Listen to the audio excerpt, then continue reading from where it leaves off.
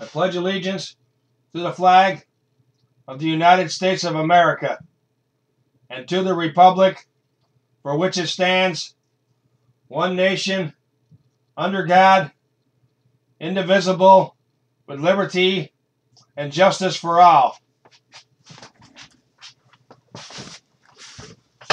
Good morning, everybody. It's Mark, the controversial Christian here. Today, we're going to continue with American history, we're going to talk about a man named George Washington Carver. Yes, he was a black man, and he contributed quite a bit to United States history. All right. Let me start with our opening prayer. Then we'll do our reading, and then we'll talk about George Washington Carver.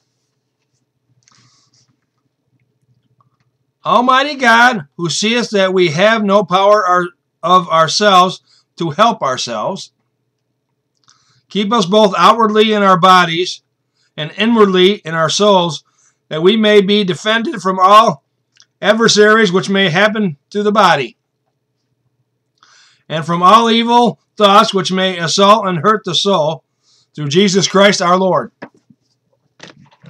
Ah. Yeah. How is everybody today? I'm doing good. March 8th. Yeah, today's the 8th day of March, 2021. I don't know if I mentioned that or not, but older I get, seems the more I forget. all right. We know. That's today's reading. We know that all things work together for good Romans 8:28 that was. When seemingly bad things happen to good people, it's normal human response to ask why. We long to understand the apparent senselessness of accidents, suffering, failure, or persecution. Our faith can be shaken as we struggle to understand how a loving God could allow bad things to happen. In difficult times, we are privileged to have blessed prom promises penned by the Apostle Paul, but authored in the heart of God. There is no hesitancy, hesitancy in Paul's assertion. Wow, man, I couldn't get that one out. His conviction is firm, born of a lifetime of suffering and persecution. He declares, We know. We know deep in our hearts that bad things do not need to be feared. We know this because our omnipotent God is at work behind the scenes, bringing good out of what seems bad for every person who claims allegiance to Him. Because of the love of God for us, we can be certain that God is at work for the good of His people. Since God is good, the work He is doing for His people is good. The ultimate good towards which He is working in His glorification and the salvation of His children. Life is a grindstone, and whether it grinds a man down or polishes him up Depends on the stuff he's made of. hey, that's a good saying. Josh Billings said that. Wow, Josh. That's a pretty good one. Let me get a drink of my coffee here. All right, let's get into George Washington Carver here. Alrighty. He was a black man. He was an agriculture. George Washington Carver was an agricultural scientist and inventor who developed hundreds of products using peanuts. Though it's claimed that he invented peanut butter, but they say it's not true. But, you know, back then, I don't know if they really kept records as well as they do, but they did do now. But he also, you know, worked with sweet potatoes and soybeans. He was born into slavery a year before it was outlawed. Carver left home at a young age to pursue education and would eventually earn a master's degree in agricultural science from Iowa State University. He would go on to teach and conduct research at Tus Tuskegee University for decades, and soon after his death, death, his childhood home will be named a national monument, the first of its kind to honor an African American. He was born near Diamond, Missouri in 1864. They're not exactly sure whether he was born in January or June. They're not really exactly sure. Nine years prior, Moses Carver, a white farm owner, purchased George Carver's mother, Mary, when she was 13 years old. The elder Carver reportedly was against slavery but needed help at his 240 acre farm. When Carver was an infant, he and his mother and sister were kidnapped from the Carver farm by one of the bands of slave raiders that roamed Missouri during the Civil War era. They were sold in Kentucky. Moses Carver hired a neighbor to retrieve them, but the neighbor only succeeded in finding George, whom he purchased by trading one of Moses' finest horses. Carver grew up knowing little about his mother and his, or his father, who had died in an accident before he was born. Moses Carver and his wife Susan raised the young George and his brother James as their own and taught the boys how to read and write.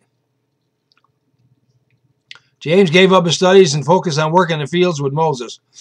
George, however, was frail and sickly child who could not help with such work. Instead, Susan taught him to cook, mend, embroider, do laundry, and garden, as well as how to concoct simple herbal medicines. At a young age, Carver took a keen interest in plants and experimented with natural pesticides, fungicides, and soil conditions. He became known as the plant doctor. To local farmers, due to his ability to, discern how to improve the health of their gardens, fields, and orchids. At 11, he left the farm to attend an all-black school in the nearby town of Neosho.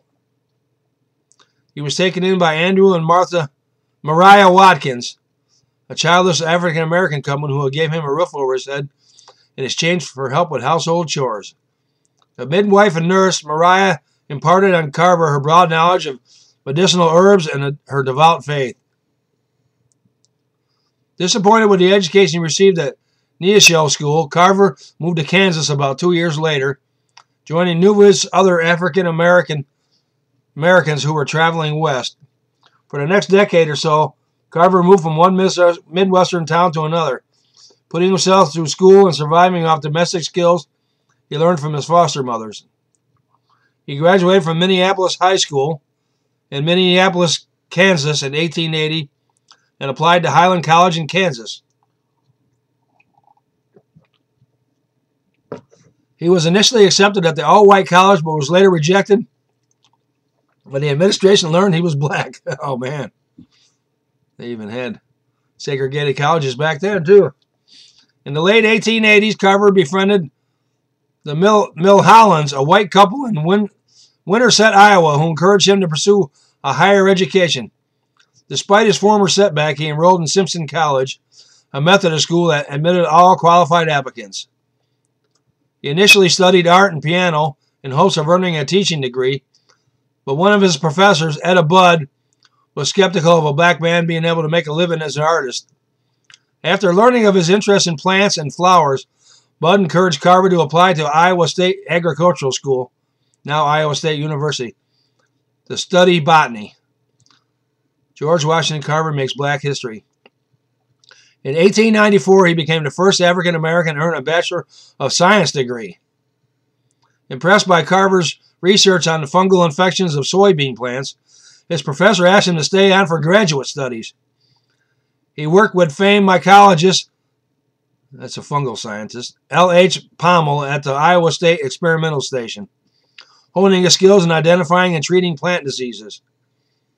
In 1896, he earned his Master of Agriculture degree, immediately received several offers, the most attractive which came from Booker T. Washington, whose last name George would later add on his own, of Tuskegee Institute. Carver's early years at Tuskegee were not without hiccups. For one, agriculture training was not popular. Southern farmers believed they already knew how to farm, and students saw schooling as a means to escape farming. Additionally, many faculty members resented Carver for his high salary and demanded to have two dormitory rooms, one for him and one for his plant specimens. He also struggled with demands of the faculty position he held. He wanted to devote his time to researching agriculture for ways to help out poor southern farmers. But he was also expected to manage the school's two farms, teach, and share the school's toilet and sanitary facilities work properly, and sit on multiple committees and councils. Carver and Washington had a complicated relation had a complicated relationship, but would butt heads often. In part because Carver wanted to do little to do with teaching, though he was beloved by his students. Car Carver would eventually get his way when Washington died in 1950 and was succeeded by Robert Russa Moton, who relieved Carver of his teaching duties except for summer school. What did George Washington Carver invent? All right, by this time, Carver had great success in the laboratory and the community. He taught poor farmers they could feed hogs acorns instead of commercial feed, and the rich croplands with swamp muck instead of fertilizers. His idea of crop rotation proved to be most valuable. Though his work on soil chemistry, through his work on soil chemistry, Carver learned that years of growing cotton had depleted nutrients from the soil, resulting in low yields. But by growing nitrogen fixing plants like peanuts, soybeans, and sweet potatoes, the soil could be restored, allowing yield to increase dramatically when the land was reverted to cotton a few years later. Wow, that's pretty good. To further help farmers, he invented the Jess, Jesup wagon, the kind of mobile classroom and laboratory used to demonstrate soil chemistry. The George Washington Carver, they called him the Peanut Man. Farmers, of course, loved the high yields of cotton they were now getting from Carver's crop rotation technique. But the method had an unintended consequence a surplus of peanuts and other non cotton products. Carver set to work on finding alternative uses for these products. For example, he invented numerous products from sweet potatoes, including edible products like flour and vinegar, and non food items such as stains, dyes, paints, and writing ink. But Carver's biggest success came from peanuts. It already developed more than 300 food, industrial, and commercial products from peanuts, including milk, Worcestershire sauce, punches, cooking oils, salad oil, paper, cosmetic, cosmetics, soaps, and wood stains. He also experimented with peanut-based medicines, including antiseptics, laxatives, and goiter medications. It should be noted, however, that many of these suggestions or discoveries remain curiosities and did not find widespread applications. In 1921, he appeared before the Ways and Means Committee of the U.S. House of Representatives uh, representatives on behalf of the peanut industry, which he which was seeking tariff protection.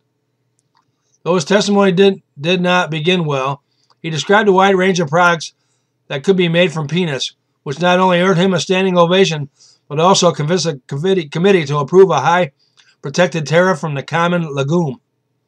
He then became known as Peanut Man. The last two decades of his life, he lived as a minor celebrity, but his focus was always on helping people. He traveled the South to promote racial harmony and traveled to India to discuss nutrition in developing nations with Mahatma Gandhi. Up until the year of his death, he also released bulletins for the public. Some of the bulletins reported on research findings, but many others were more practical in nature and including cultivation, cultivation information for farmers, science, and teachers, and recipes for housewives. In the mid 30s, when the polio virus raged in America, Carver became convinced that peanuts were the answer. He offered a treatment of peanut oil massages and reported positive results. Though no scientific evidence exists that the treatments work, the benefits the patient experienced were likely due to massage treatment and attentive care rather than the oil. He died January 5, 1943, at Tuskegee Institute after falling down the stairs of his home. He was 78 years old. He was buried next to Booker T. Washington on the Tuskegee Institute grounds. Wow, he was pretty interesting.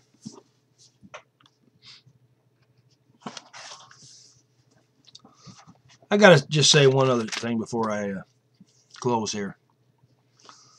I was, we got all this, you know, talk about racial tension all this in the world.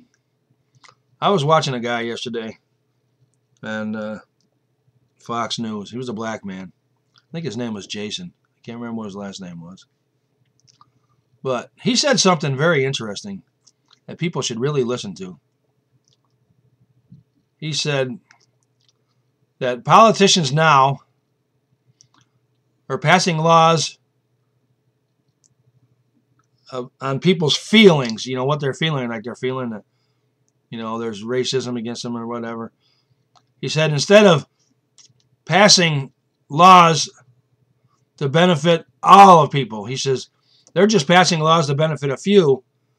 And he says the research really don't don't warrant, you know, stuff like that. He said laws should be passed to help all people, not just, you know, this one or that one. It should be helped to pass all people. He said because the amount of racism in the world is very minute. And with people, you know, trying to bring it out and crying about it like that, he said it's just going to make it worse. You know, and that really made sense to me. I can't remember all of everything he said, but he was a pretty smart man. His name was, I believe his first name was Jason. I can't remember what his last name was. But anyways, he made a lot of sense. All right, here's our closing prayer. Two things I recognize in myself, Lord. I am made in your image. I have defaced that likeness.